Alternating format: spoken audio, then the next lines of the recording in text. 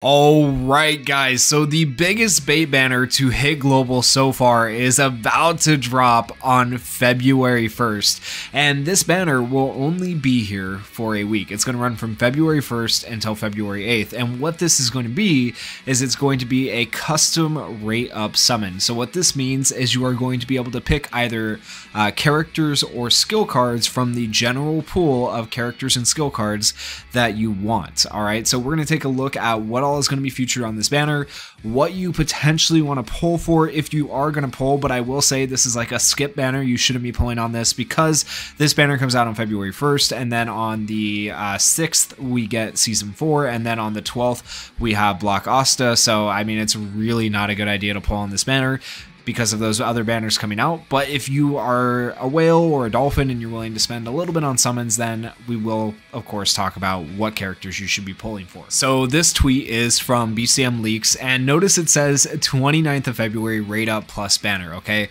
I assume that that means we are also going to get this banner returning towards the end of February potentially because that's what he found in the files.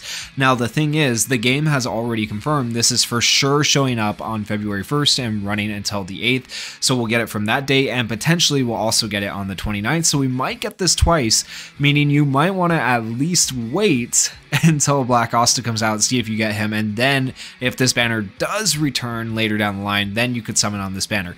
Also, this banner will 100% be returning down the line with seasonal characters on it at some point because JP has already had this type of banner with seasonal characters on it. And so like honestly my advice is not to summon on this banner, but if you are going to, Let's talk about how it works. Each day you can choose which character you want to rate up, making its drop rate increase from 0.125% to a full 1% chance.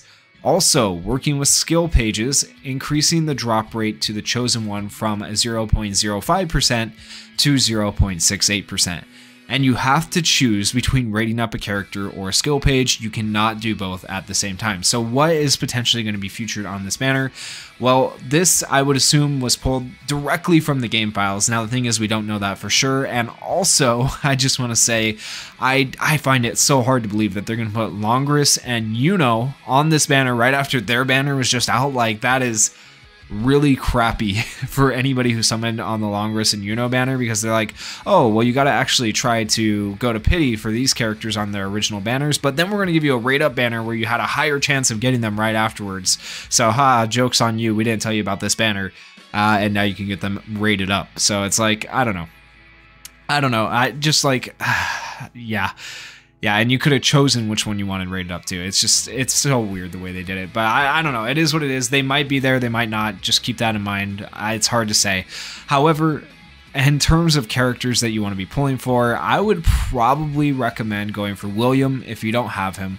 I'd recommend going for Rhya if you don't have him. So William's really good utility. Rhya is really good nuking damage for PvE.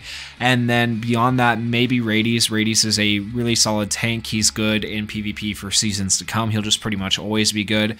And then beyond that, there's none of these characters that I'd really recommend like at a necessity to need maybe Red Yami, maybe for Hall of Illusions, okay? But yeah, my top three characters are probably William, Rhya, and Radius that I would recommend pulling for, and then maybe after that, maybe Yami, okay? But the rest of these characters aren't really a necessity, especially not like uh, Vetto. Vetto is really bad, especially not Kiato. Kiato's not necessary, Rill's not necessary, Fuegoleon and Leopold definitely not necessary. Definitely these two are garbage. Do not try to pull for these. Don't rate these up. Like, even if you're just like, oh, I'm just missing Nozel. I just need Nozel to finish all the general pool units. Trust me, he's not worth it. He's not a very good character. And then as far as skill cards go, uh, there's not really any skill cards that you need to fully, like, max dupe out. I don't know why you would summon for skill cards on this banner, so I just wouldn't even worry about the skill cards on this banner. If anything, I'd worry about characters and rating those up. Now, in terms of what this banner is going to look like, it is going to look like this image right here. And this one is a picture from JPKR where they had seasonal characters rated up, which is really nice for them.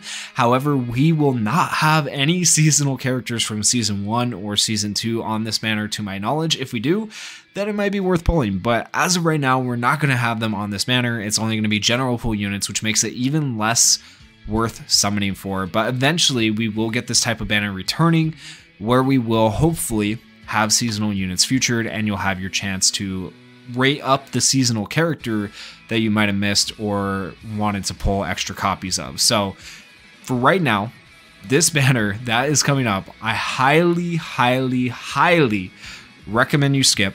And if you don't skip, then only do like maybe two to three multis. Do not go to pity. I myself will probably not even summon on this banner, and I summon on pretty much every banner. So do not summon on this banner because, you know, season four, Noelle and Charmy are coming for global. And then, of course, we are getting Black Asta too. There's way better units coming. And the general pool units are just that. They're general pool units. You'll be able to pull them later at some point in time. You might even pull them when you're pulling for Black Asta or when you're pulling for these two characters. So keep that in mind. If you guys enjoyed this video, please consider going down there, hitting that like button, hitting that subscribe button, and thank you guys so much for watching. Peace.